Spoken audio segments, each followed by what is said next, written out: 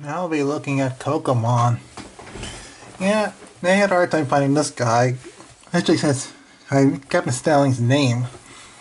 He is the final villain in the Digimon movie, although the first one that makes the internet I don't know the name of. He's a virus. He gets taken over by a virus as a early age and has to fight both the second generation DigiDestined and his brother Terriermon, as well as trainer Willis, in order to be saved. The virus causes him to turn evil and all kinds of mean stuff.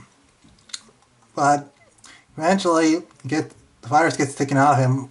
It ends with feet, defeat. But as you all know, Digimon don't really die. Sometimes they come back with a better tune.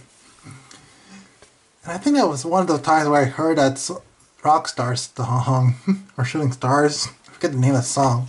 That he's playing the background when he dances at the end.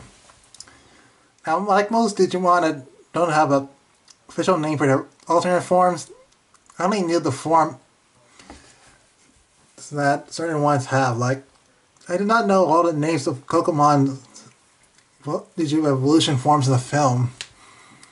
But there were some the forms that were shown in later series. Like this form was shown in the series Digimon Frontier.